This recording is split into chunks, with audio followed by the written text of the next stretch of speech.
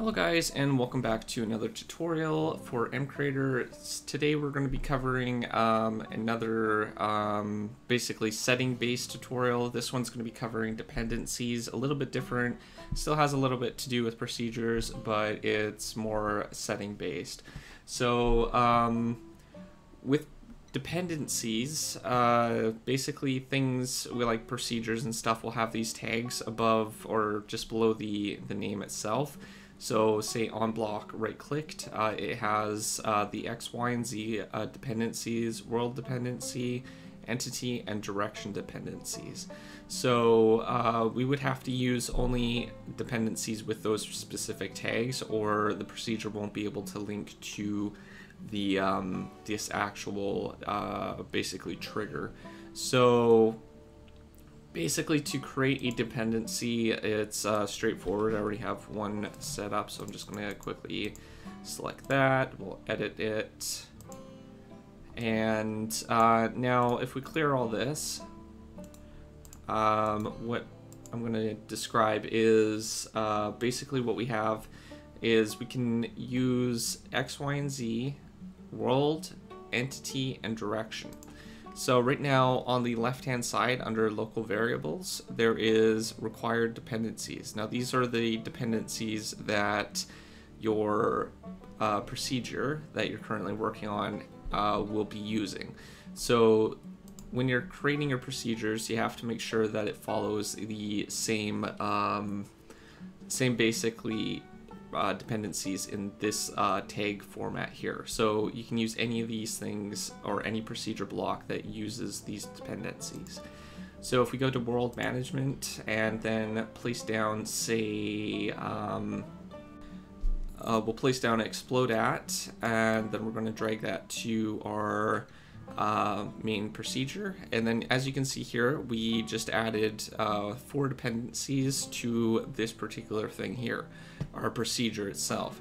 So what we're basically using at the moment is X, Y, and Z dependencies and then a world dependency.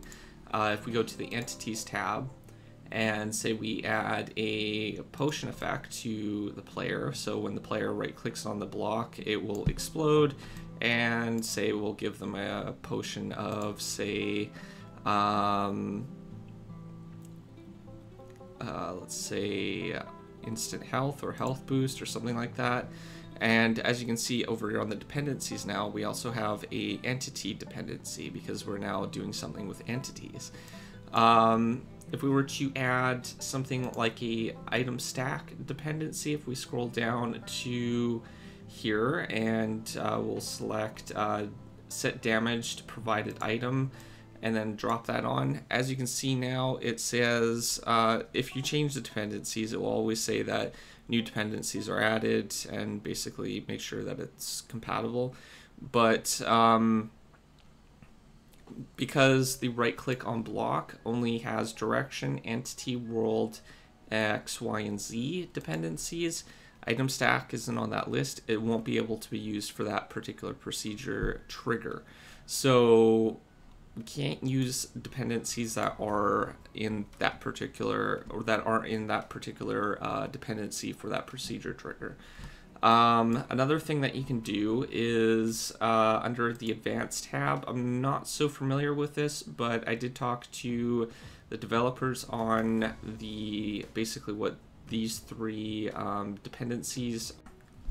And what they do is basically allow you to add uh, or change and do other things with dependencies. So as long as the dependencies that you're using for uh, these tags, uh, like the blocks themselves, uh, fall under the same dependencies for your um, your basically your trigger, then they should work fine. So as you can see here, we have the X tag, uh, or X dependency, Y dependency, and Z dependency. What we could do is we could do a lowercase x and delete this. And as you can see, the dependency for X just went away. And if we place that on, then it also adds the X dependency up here. So we could do things like X, Y, and Z dependency. I'm not sure what it would do. I haven't had time to test it. But uh, this would still fall and uh, basically work with the trigger that uh, we're currently working on. So as you can see, it has X, Y, and Z dependencies now, but we're using a number dependency for our X, Y, and Z. So um, maybe play around with that, figure out how it all works. Uh, let me know in the comments how that all works, and it'll be interesting to see how this could be used in other procedures. Um, outside of that, um, that's all that, that I have time for today. If you're new to my channel, don't forget to subscribe, comment down below, rate the video, and I'll see you guys next time. Thanks for watching. Peace out.